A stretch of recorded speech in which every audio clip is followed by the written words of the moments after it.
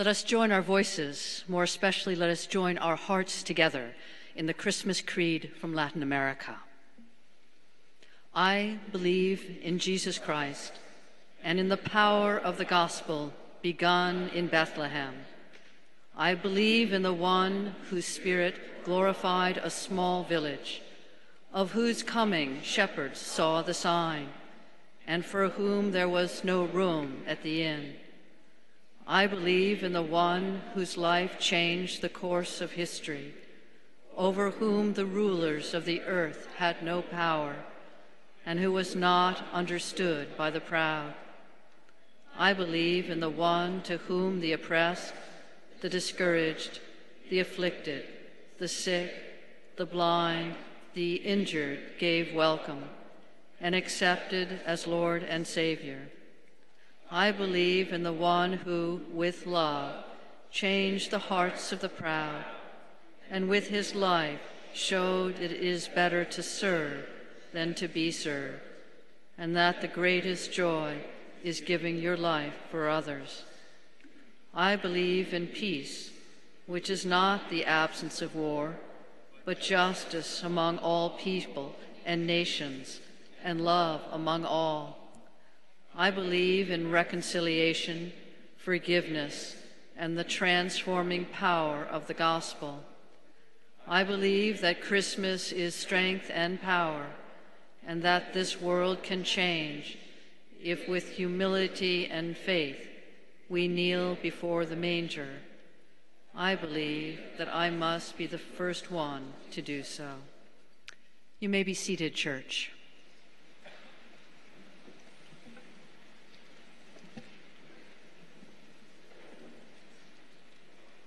So, Frederick Nietzsche, the philosopher, sometime nihilist and critic of Christianity, Nietzsche complained that the trouble with Christians is that they don't look redeemed. Wishing very much not to resemble that remark, may I remind you that this is our night of nights, that tonight is our night to look redeemed. And if we can't look redeemed tonight, we're done for. I suggest, therefore, that we practice looking redeemed, and here's how to do it. On the count of three, turn to somebody right next to you, look them in the eye, and point to them. You're allowed to point. Point to them and say, You look redeemed. Ready? One, two, three, go. It worked. Well done. You do indeed look redeemed. Phew. The welcome to Old South Church on this Christmas Eve. Welcome to friend and to stranger, to the lost and to the found, to the rich and to the poor. Welcome to you who know what it is to be redeemed, and you who still ache to know. Welcome to you who are joining us via live stream, wherever you are. We're thrilled to have you with us as well.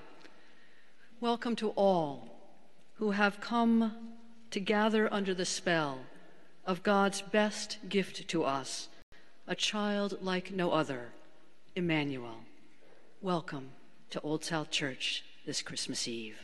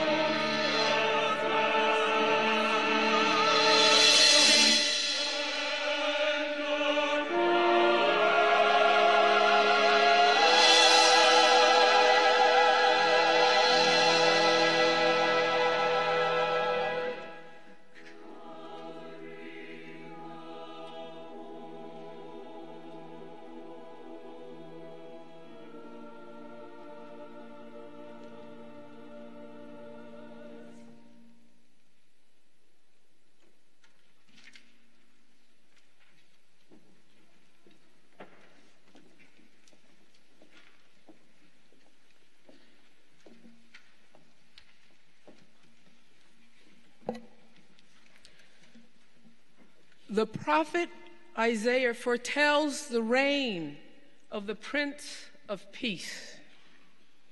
The people that walk in darkness have seen a great light. They that dwell in the land of the shadow of death, upon them has the light shone. For unto us a child is given, for unto us a child is born, and the government shall be upon his shoulders, and his name shall be called Wonderful, Counselor, the Mighty God, the Everlasting Author, the Prince of Peace. Of the increase of his government and peace, there shall be no end. He will rule as David's successor, basing his power upon right and justice from now until the end of time. For the zeal of the Lord of hosts will perform this. Thanks be to God.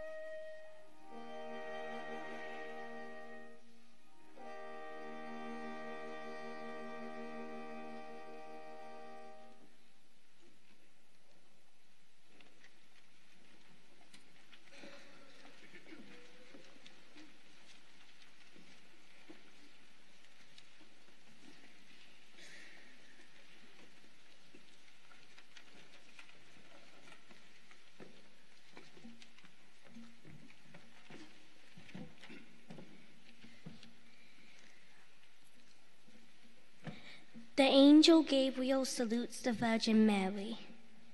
In the sixth month, the angel Gabriel was sent by God to a town in Galilee called Nazareth to a virgin engaged to a man whose name was Joseph of the house of David. The virgin's name was Mary. And the angel came to her and said, said to her, Do not be afraid, Mary, for you have found favor with God. But she was much perplexed by the, his words and pondered what sort of greeting this might be. The angel said to her, Do not be afraid, Mary, for you have found favor with God, and now you will conceive in your womb and bear a son, and you will name him Jesus. He will be great and will be called Son of the Most High. And the Lord God will give to him the throne of his ancestor David. He will reign over the house of Jacob forever, and of his kingdom there will be no end. Mary said to the angel, How can this be, since I am a virgin? The angel said to her, The Holy Spirit will come upon you, and the power of the Most High will overshadow you. Therefore, the child to be born will be holy. He will be called the Son of God. Then Mary said, Here am I, the servant of the Lord. Let it be with me according to your word. Then the angel departed from her. Thanks be to God.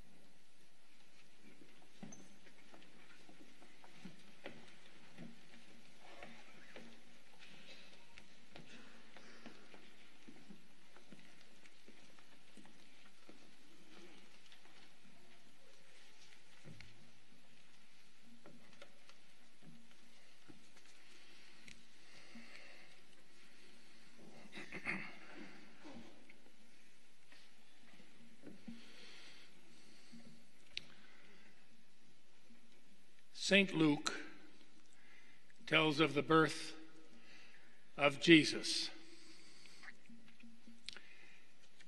In those days, a decree went out from Emperor Augustus that all the world should be registered. This was the first registration and was taken while Quirinius was governor of Syria. All went to their own towns to be registered. Joseph also went from the town of Nazareth in Galilee to Judea, to the city of David called Bethlehem, because he was descended from the house and family of David. He went to be registered with Mary, to whom he was engaged and who was expecting a child.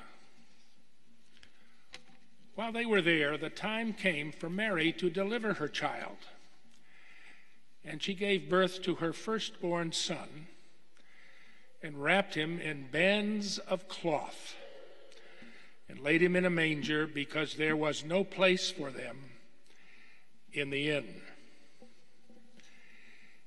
In that region, there were shepherds living in fields, keeping watch over their flock by night.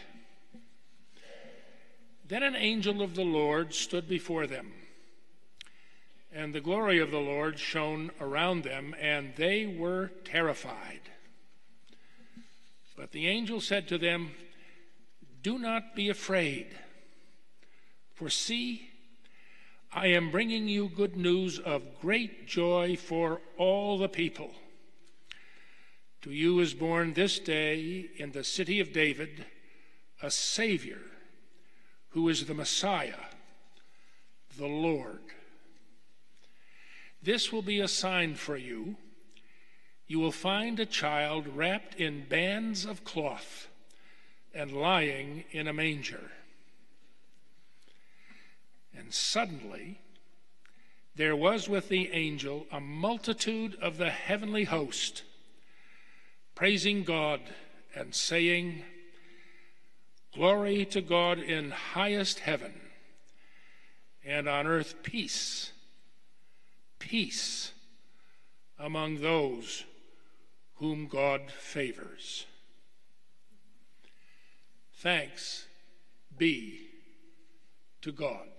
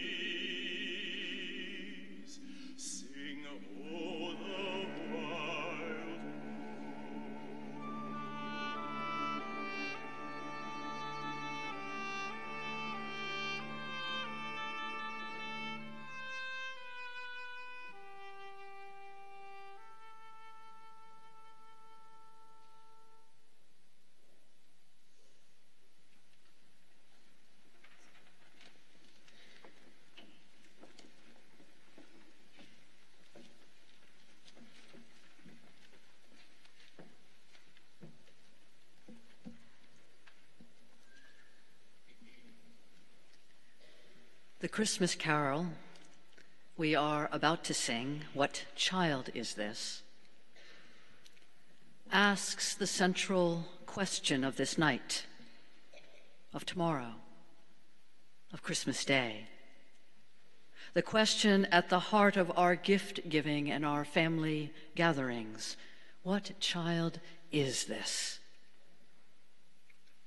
What child is this who has brought the whole world to a hushed halt? What child is this, born two millennia ago, born a peasant in an occupied country, sentenced to an excruciating, humiliating death, who so commands our reverence? What child is this who inspires the world's finest artists, painters and poets, musicians and sculptors, architects and composers to incomparable heights of artistic and spiritual achievement? What child is this who challenges our too easy accommodations to war and violence? What child is this? Who, in defiance of our warring and our wall building and our vain nationalisms, cries out from the very throne of heaven, Peace, peace, and goodwill over all the earth. What child is this? Who judges us not by what we own, nor by the power we wield over others but by our capacity for kindness, by our compassion for the poor of the earth, by our appreciation for the plight of prisoner and refugee. What child is this? On whose birthday governments and businesses, indeed whole countries, suspend production and cease commerce? What child is this? What child is this who meets and melts haughty human pride with fires forged of divine forgiveness? What child is this? Middle Eastern and Jewish, by whom time itself has been divided what child is this? Of reduced means, without property, lacking in any of the kinds of credentials by which we measure ourselves and each other, yet whose moral excellence and spiritual brilliance have redefined what it means to be a full, whole, evolved human being. What child is this? For whom you've come here tonight. Many of you, anyway, hoping to catch even a glimpse. The Christmas carol we are about to sing asks the central question, the only question of this night What child is this? In the carol, the question is rhetorical, asked and answered. For the author, for William Dix, who wrote the carol in 1865, who penned the words from a personal circumstance of in extremis. For him, the question was rhetorical, asked and answered. But you, what of you? How do you answer the question? What child is this? For you, for you, good Christian.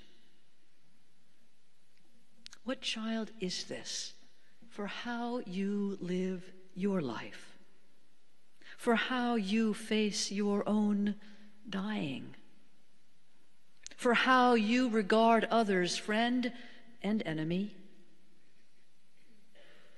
For you, good Christian,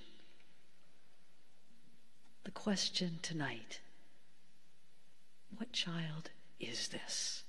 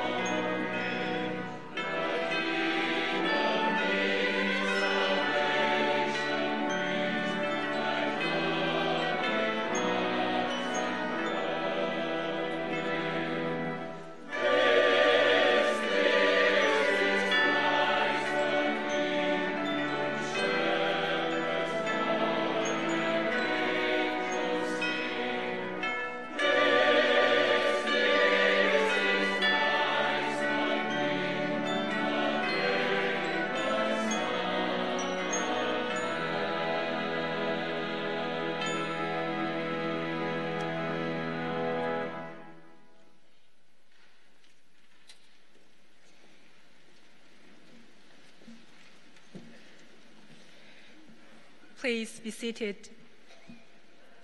The Eastern visitors are led by a star to Jesus. In the time of King Herod, wise men from the East came to Jerusalem asking, Where is the child who has been born King of the Jews? For we observed his star at its rising and have come to pay him respect. When King Herod heard this, he was frightened. Calling together all the religious leaders, he asked them where the Messiah was to be born.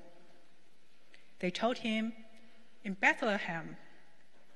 They set out toward Bethlehem, following the star. When they saw that the star had stopped, they were overwhelmed with joy. On entering the house, they saw the child with Mary, and they knelt down to honor him. Then, opening their treasure chests, they offered him gifts of gold, frankincense, and myrrh. Thanks be to God.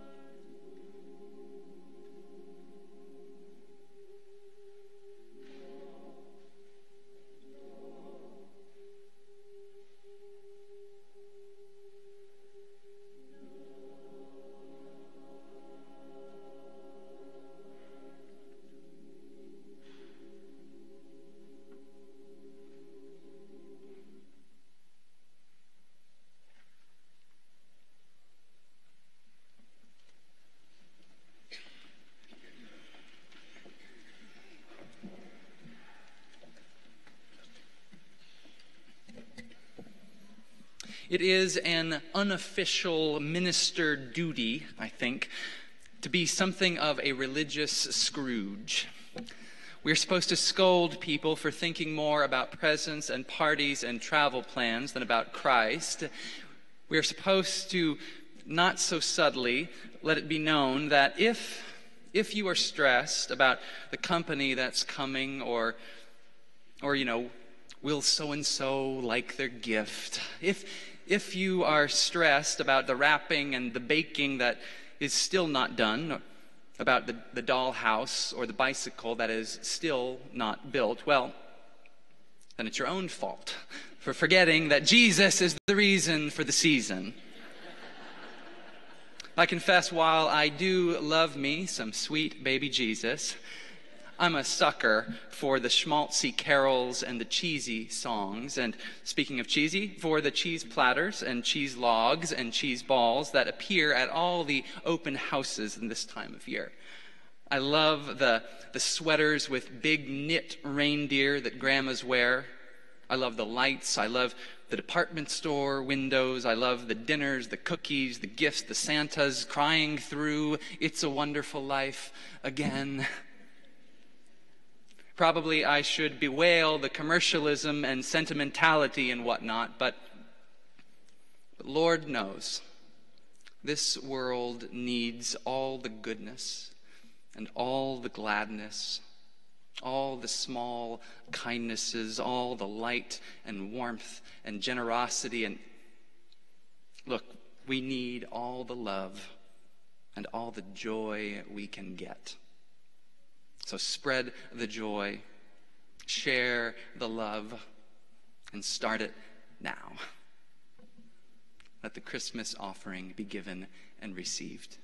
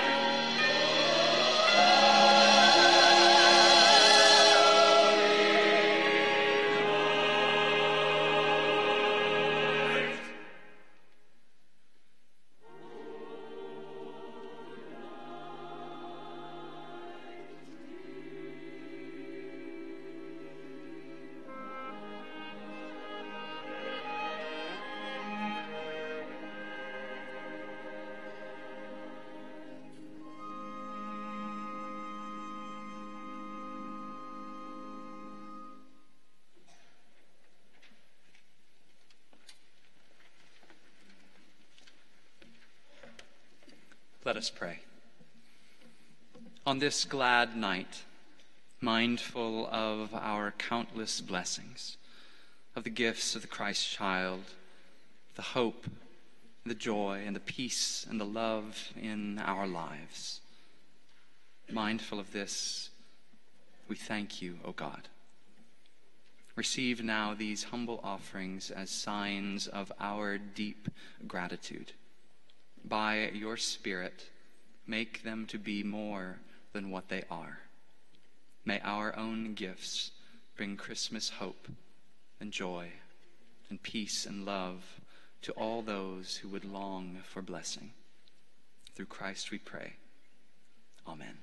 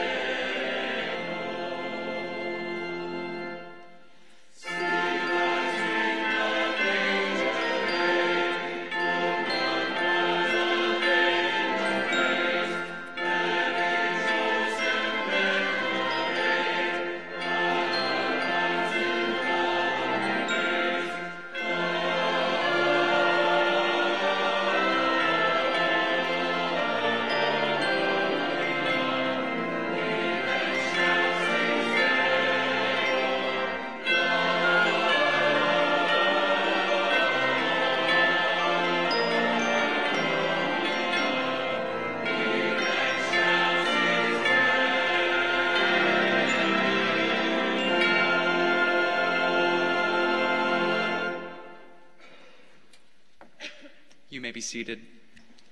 A few words of instruction before we begin passing the Christ light. To avoid any Griswold style blunders and burns that will leave you spending Christmas Eve in the emergency room, when passing the light, the person with the unlit candle should dip theirs toward the flame of the lit candle. A lit candle should never be tipped. Keep it upright. Ushers are ready with fire blankets and extinguishers. Signal for help if you need it. Try not to need it. After we sing Silent Night, the lights in the sanctuary will come up. Please extinguish your candle before standing to sing the final carol. Receive now the light of Christ that it might grow and grow in the world as it grows in this place.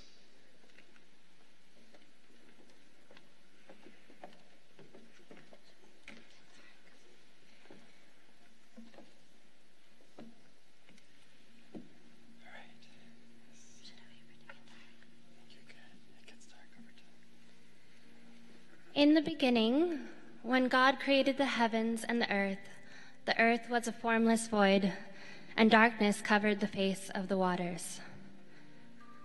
Then God said, Let there be light. And there was light. And God saw that the light was good. And God separated the light from the darkness. God called the light day, and the darkness God called night. And there was evening, and there was morning, the first day. The people who walked in darkness have seen a great light. Those who lived in a land of deep darkness, on them light has shined. I am the light of the world. Whoever follows me will never walk in darkness, but will have the light of life. You are the light of the world. In the same way, let your light shine before others, so that they may see your good works and give glory to God Almighty. As long as I am in the world, I am the light of the world. While you have the light, believe in the light, so that you may become children of light. After Jesus had said this, he departed and hid from them. For it is the God who said, Let light shine out of the darkness, who has shown in our hearts to give the light of the knowledge of the glory of God in the face of Jesus Christ. For once you were darkness, but now in the Lord you are light. Live as children of light. This is the message we have heard from him and proclaim to you that God is light.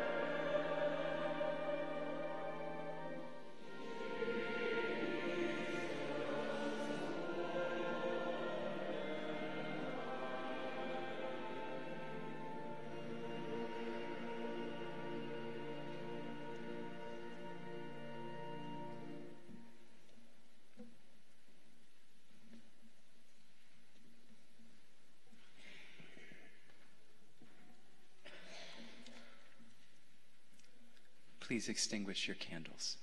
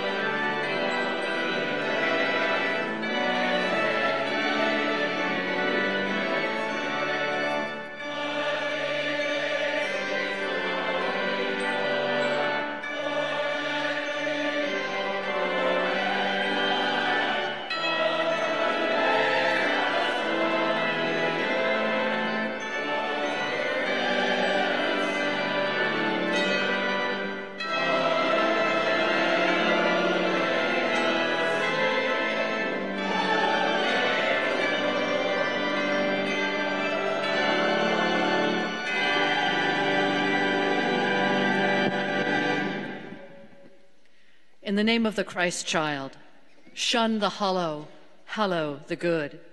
Forgive those who wound you and wound not in return. Encourage the discouraged. Cherish times with the lonely. Pray in private crannies about all things.